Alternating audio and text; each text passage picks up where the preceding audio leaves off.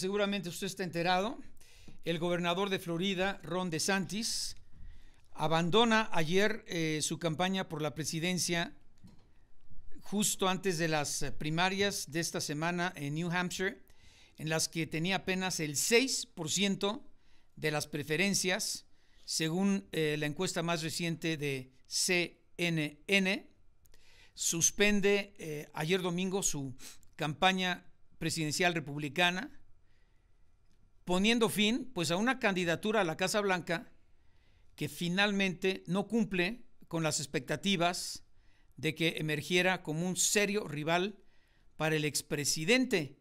Comenzó como la gran revelación, la sorpresa, el único casi casi que podría competir contra la popularidad y la fortaleza que mantiene el expresidente Donald Trump, finalmente quedó incluso por eh, debajo de la eh, ex embajadora ante, ante la ONU.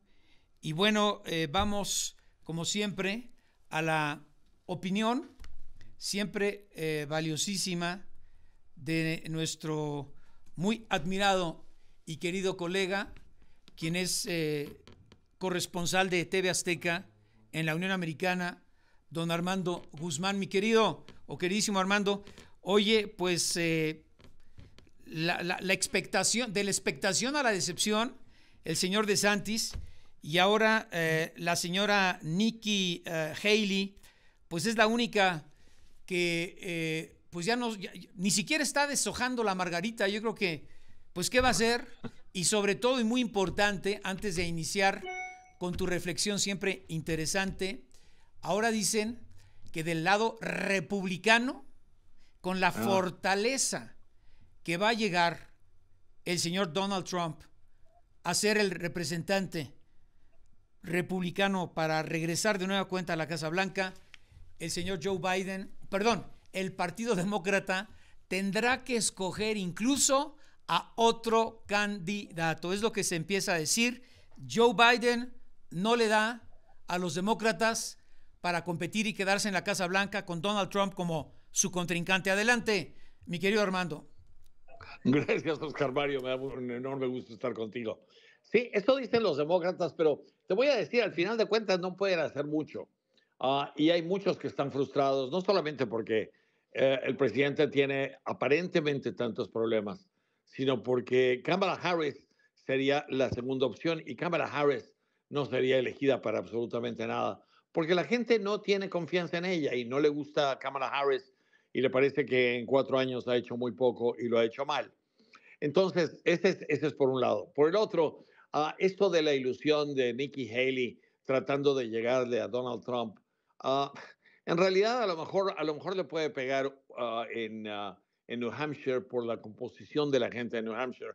Yo escuchaba ayer a mucha gente en, en, New Hampshire hablar exactamente de lo mismo que habla Nikki Haley, porque ella tiene razón al decir, estamos escogiendo entre dos octogenarios que no nos gustan y estamos teniendo la obligación de elegir alguno de ellos cuando lo que debíamos estar haciendo es buscando a alguien en una nueva generación. Obviamente habla de ella misma, ella tiene 51, 52 años y entonces ella se ve más como, como el tipo de líder que necesitaría un país como Estados Unidos en este momento.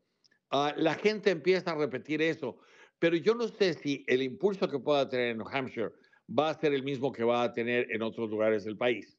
Hay algo más. De ahora en adelante, a diferencia de Iowa, de ahora en adelante sí vamos a empezar a ver qué pasa con, ah, con las, ah, no solamente con los republicanos, sino con los demócratas también.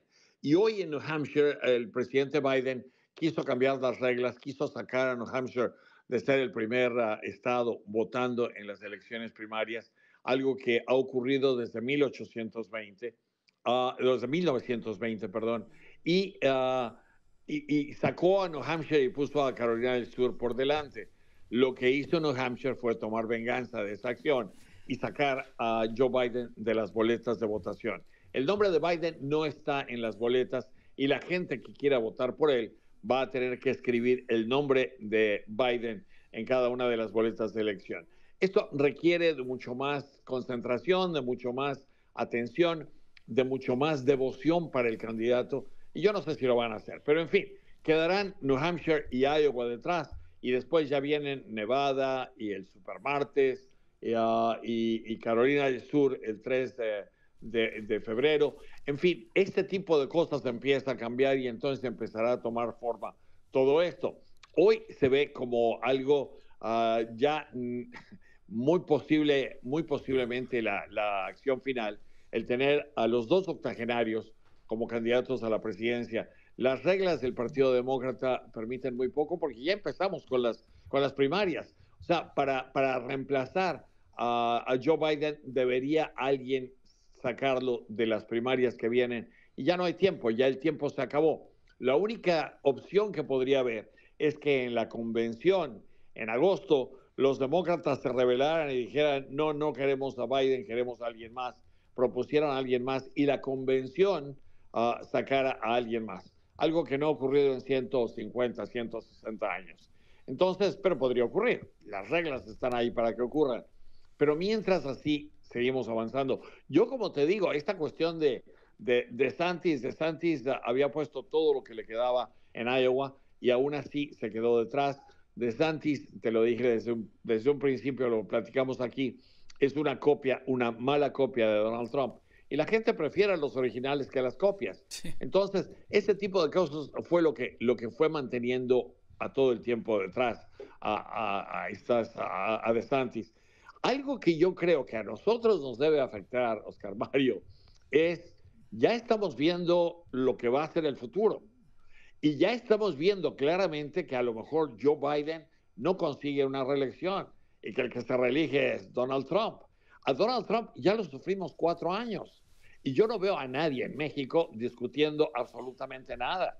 Hace ocho años en México, durante el gobierno de Peña Nieto, todos decían que Trump se moderaría y hasta engolaban la voz diciendo, cuando, porque no es lo mismo estar en campaña que estar en la presidencia. ¿De verdad? Bueno, no, es lo mismo porque Trump llegó, hizo todo lo que quiso, nos forzó a un nuevo TLC, algo que los negociadores de Trump diseñaron mucho más favorable a Estados Unidos. Y, y, los mexicanos nos tuvimos que tragar el insulto del muro, la expulsión de migrantes mexicanos, la obligación de retener a migrantes de, otros países en territorio mexicano y hasta la humillación de ver a las familias de inmigrantes uh, ser separadas en la frontera. Y ahora nadie está hablando de eso. Y déjame decirte, en Estados Unidos todo el mundo está hablando de México, porque los dos temas principales del lado republicano son el fentanilo y la inmigración. Y eso lleva pegado el nombre de México junto. Entonces, no estamos viendo las dos circunstancias en, el mismo, en la misma categoría. Yo entiendo que las candidatas tengan que ganar primero la presidencia, pero no hay un diálogo nacional en México acerca de qué es lo que podría pasar cuando Donald Trump llegue otra vez a la presidencia. Y eso me parece muy grave. Oye, eh, Armando, ¿quién podrá sustituir a Joe Biden? Kamala Harris, pues ni cuenta, ¿no? Pero ¿quién podrá. Tomar el lugar de Joe Biden para competir contra eh, Donald Trump? Porque la elección es el próximo mes de noviembre. Joe Biden, pues no tiene visos de que se vaya a retirar de este proceso para su reelección. Y por otro lado, pues el tiempo está encima.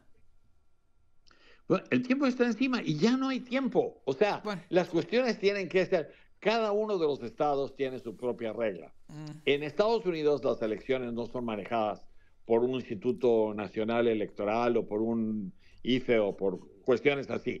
Uh, en Estados Unidos cada estado tiene su propio colegio electoral, sus propias reglas, cada regla es distinta, por eso cada, cada uno tiene distintas formas de, de ver las primarias.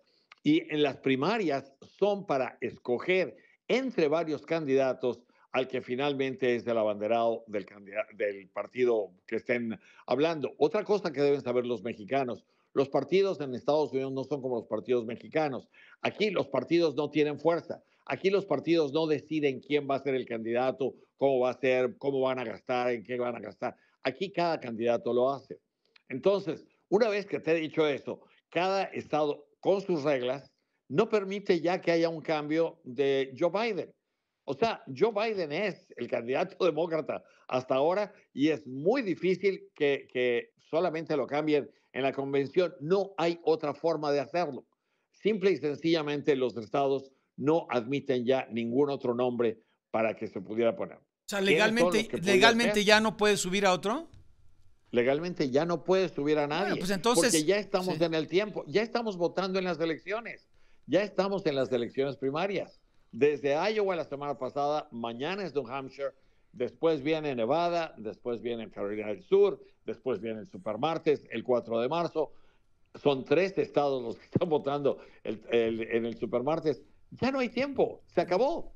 Si hubiera tiempo, dirías, bueno, sí, mira, está fulanito y Pepito y Toñito y, Catita y, y Lucía y todos ellos pueden ser candidatos. No, ya no hay, se acabó, no hay tiempo. La única forma es llegar a la convención, que los convencionistas digan, los demócratas digan, este señor no va a ningún lado, este pobrecito viejito, hay que sentarlo en un lugar y hay que traer a un joven como, como el gobernador de, California o el de Michigan o la de Michigan o el de New Jersey o el de Illinois, que son los más, los, los punteros en el Partido Demócrata que podrían ser, pero que hasta hoy se han disciplinado y han dicho, esta boca no es mía, yo lo único que hago es respaldar a Biden porque Biden es el candidato demócrata. Entonces ahí estamos. Pero también, eh, Armando, aunque Joe Biden le lleva solo tres o cuatro años de diferencia, eso a la parte final de esta charla con don Armando Guzmán, corresponsal de TV Azteca en la Unión Americana, pues ya se baja de la contienda por la candidatura republicana, quien llegó muy fuerte y se desinfló, el señor DeSantis, gobernador de Florida, y solo queda esta mujer prudente, elegante, pero que pues tampoco llegó a competir ni a desbancar a Donald Trump como probable candidata por el Partido Republicano. Y entonces, pues ahora la mirada está en el señor Joe Biden, quien aunque es solo tres o cuatro años mayor que Donald Trump, pues parece el papá de Donald Trump, mi querido Armando. Así es. Te voy a decir, él siempre se ha visto mayor. Yo lo conozco durante muchos años ah, y siempre lo he visto, lo he visto que, parece más viejo de lo que es. Ah, así ha sido el senador ah, Joe Biden y el vicepresidente y ahora el presidente. Ahora, la cuestión es que ya no hay ninguna salida. Mira, estaba checando el número de, le dicen filing deadlines el tipo de inscripción que puedes tener de candidatos en, los, eh, en las primarias, en las elecciones primarias, más de la mitad de, estas, ah, de, estas, ah, de estos plazos se han terminado y ya lo, más de la mitad de los estados no pueden, no pueden cambiar nada. Otra cosa que hay que tomar en cuenta, y esto me lo recordaban aquí en, en este momento, ah, hay una cuestión que debes tomar en cuenta cuando hablas de elecciones en Estados Unidos y es la cuestión racial.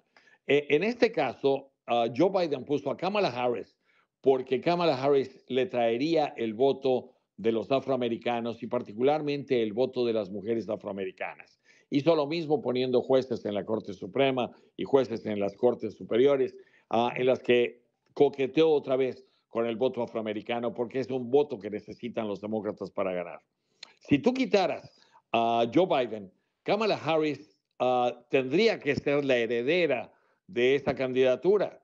Y Kamala Harris sería hecha añicos, polvo, por Donald Trump. Si tú cambiaras a Kamala Harris y pusieras a un hombre blanco como el gobernador de California o como los otros gobernadores que te he descrito, o incluso a una mujer blanca como la gobernadora de Michigan, lo que crearía sería un caos y una, ah, una, una revolución dentro del Partido Demócrata y la decepción de millones de afroamericanos y de mucha otra gente que cree que, eh, que creería en ese momento que no está siendo justo desde el punto de vista racial. Entonces, esta es una, esta es una, esta es, una característica estadounidense que no puedes poner en otros lados, pero que tiene muchísimo que ver en cuanto a la selección de candidatos y quiénes son los candidatos en este momento. Yo, yo no le veo ninguna vuelta. Es Trump contra Biden. Y también algo que te debo decir es, yo siempre te he dicho que yo siempre le apuesto a Trump y, Trump ha tenido, ah, yo he tenido confianza en que él va a ganar, no porque lo quiera ganar, no porque yo simpatice con él, no porque esté de acuerdo con él, sino simple y sencillamente por cómo veo las, las cosas. Es una carrera de caballos, yo simplemente estoy diciendo el caballo que creo que va a ganar. Ahora, cuando tienes a dos caballos, como Biden y como Trump, las cosas podrían cambiarse y todas las cuestiones de las que se está hablando en Estados Unidos podrían hacer que la gente se pase del lado de Biden cuando vean a Donald Trump como seria posibilidad. Donald Trump no tiene más del 30 o 40% de la población general y eso no ha cambiado. Entonces, las esperanzas de los demócratas de que Biden vuelva a ganar ah, son muchas. Y yo siempre te he dicho que esta es la posibilidad y que el único problema que yo veo con todo eso es que Biden gane por poco y que al final Donald Trump no acepte esa, esa derrota, vuelva a, gritar que, le quitaron la, elección y se convierta esto en, una, en un enfrentamiento entre, entre gente en Estados Unidos. Eso podría pasar y ese es un problema que, es, bastante, es bastante serio como para considerar. Armando, este y la otra, que Trump arrase, ¿no? Que arrase en la elección. No, no, no, no, no, no, no. O sea, sí en las primarias, sí en las en el lado republicano. Pero no en la no en la ah. elección presidencial, dices tú, ¿no? No, no en la no en la no en la no en la elección presidencial. O sea, tú todavía le todavía le das chance a Joe Biden eh, para reelegirse como presidente. Sí, sí, se, la doy y se la doy. Los demócratas son otro partido muy fuerte. Oh, no, no es solamente el partido. Ve, ve la composición del Congreso. La composición del Congreso es 50 y 50. Es increíble. En el Senado tiene 50 contra 50 de 100 senadores. Al republicano, 51 senadores demócratas, 49 republicanos. Es casi 50 y 50. En, el, en la Cámara de Representantes tienes 220 contra 215. Ah, entonces, 212 contra 215. Entonces, ese tipo de cosas. El, el, país está partido a la mitad, Oscar Mario. Y eso se aplica también a las, a las elecciones. Entonces, el hecho de que al final alguien gane, te voy a decir, hay 22 estados que son republicanos, 18 que son, 16 ah, que son demócratas, y hay 24, hay 14 estados más que son independientes y que pueden ir de un lado al otro. O sea, no le pongas la atención ni, ni, a, ni a Florida, ni a California, porque, o a Texas, Texas y Florida sabemos que van a ser eh, republicanos, California y e Illinois y Nueva York van a ser demócratas. No le pongas atención a eso. Ponle atención a Wisconsin, a Nevada, a Arizona, a Pensilvania, a los estados que pueden ir de un lado o del otro. Ahí es en donde va a estar la pelea y ahí es en donde van, van a tener que ver estas, estas, estas cuestiones. Una, por el lado republicano, es la cuestión del fentanilo, y la cuestión de inmigración, que tienen México escrito por todas partes. Y aquí en las campañas estás oyendo de México para arriba y para abajo. Todo el mundo habla de México, los que saben y los que no saben. Y del otro lado, de los demócratas, es la cuestión del aborto. Y ellos creen que con esta cuestión del aborto van a contrarrestar toda la cuestión republicana. Vamos a ver, pero ahí es en donde estamos hoy. Oye, eh, eh, ¿por qué no se anima Joe Biden a sustituir a Kamala Harris y si puede hacerlo legalmente, si queda finalmente como candidato, como dices, pues va a ser el que compita contra Donald Trump. Porque lo que ocurre es que si tú quitas a Kamala Harris, toda la comunidad, uh, toda la comunidad afroamericana pegaría el grito. Entonces, esto. Aunque sea pésima como, como vicepresidenta. Claro. O sea, Tú no puedes quitar a alguien que está puesto ahí. Y esto, esto ha sido una discusión desde el año pasado. Ah, el mismo presidente se negó a, hacerlo y me dice gente que, está muy cerca de él que lo que pasa es que el presidente lo vio como, una, como un gesto de debilidad. Cuando todo el mundo le decía, quita a Kamala y pon a alguien más, él dijo, esta sería una seña de debilidad y eso iría en contra de nosotros más que favorecernos. Y es cierto, si tú quitas a Kamala, ah, vas a quitar eh, la, esperanza de mucha gente de verse que se ve como Kamala Harris, uh, muchos afroamericanos, mucha gente de, eh, ah, ascendencia hindú, etcétera. Y, y, eso le va a hacer mucho daño al Partido Demócrata. No pueden quitar a Kamala Harris. Están casados con esa, con esa mancuerna. Tiene que ser Harris y Biden contra Trump y vete a saber quién más. Oye, podría ser mm, Nikki Haley. Te preguntan, se ha dicho mucho, pero ¿alguien sabe si Joe Biden tiene buena salud para quedarse cinco años más en el poder? Ah, de acuerdo con los partes médicos, él está saludable y él está bien. Ha tenido algunos problemas con cáncer de la piel, etcétera, y, tiene, tiene algunos, toma, toma medicamentos uh, propios para su edad, pero y, comete errores muy fuertes delante de la gente. Ah, pero el otro día también Donald Trump estuvo confundiendo a Nikki Haley con Nancy Pelosi, que era la presidenta de la Cámara de Representantes. Sí, no. Tanto que en un discurso estuvo diciendo que Nikki Haley le había mandado a las fuerzas de seguridad del, Congreso para detenerlo. O sea, una, una serie de cosas que tú dices, este pobre hombre también se le va, pero fuertísimo. O sea, estamos ante una situación verdaderamente desesperada en la que estamos viendo a dos candidatos que tienen a mucha gente muy preocupada. Son dos octogenarios a los que el 77% de la gente de Estados Unidos no quiere. Y entonces. Entonces vamos a ir. pronóstico otra vez, mi querido Armando. con Trump al final, al final a ver qué es lo que pasa. Oye, pero. Lo único que. Sí. Lo único, perdóname. Lo único que podría alterar esto, Oscar Mario, y esto lo digo con, con muchísimo respeto, con muchísima precaución, sin que mis palabras, por favor, se tomen de ninguna manera si algo le ocurriera al presidente Biden en su salud, ah, que obviamente es de desear que eso no ocurra y que siga saludable y que siga muy bien, pero si algo ocurriera con su salud, que fuera ah, un cambio, eso, eso moderaría las cosas, pero en este momento te digo, Kamala Harris demandaría ser ella porque a ella Imagínate, en y en justicia le tocaría. Sería catastrófico Kamala Harris como, como presidenta, ¿no? Y entonces ah, eh, llegamos a una elección con Kamala Harris contra Donald Trump y entonces sí, Donald Trump le haría polvo. Bueno, tu pronóstico, mi querido Armando.